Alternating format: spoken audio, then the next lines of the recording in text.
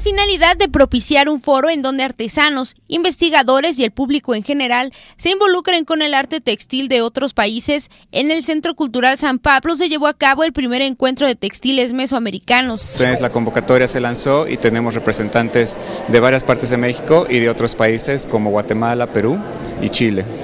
En el encuentro, los artesanos oaxaqueños, así como de otros países, tendrán la oportunidad de compartir experiencias a través de ponencias y talleres. El director del Museo del Textil, Héctor Meneses, señaló que Oaxaca es el foco de atención en materia de creaciones de textiles.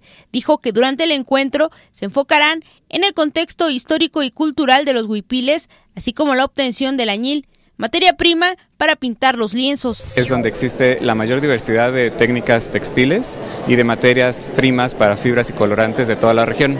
Y hasta la fecha se mantiene vivo en muchas regiones y es por ello que merece un reconocimiento todo esta, este legado cultural. Dentro de las actividades se tiene contemplada una expoventa a las afueras del centro cultural en donde el público tendrá la oportunidad de apreciar y adquirir los coloridos textiles. Pues los invitamos a disfrutar esta reunión de tejedores y de apasionados del textil porque traer a gente de otros países es una experiencia única y pues podremos ver cosas que no estamos acostumbrados a ver en Oaxaca. Con imágenes de Alan Ramírez reportó para MBM Televisión Vicky Ramírez.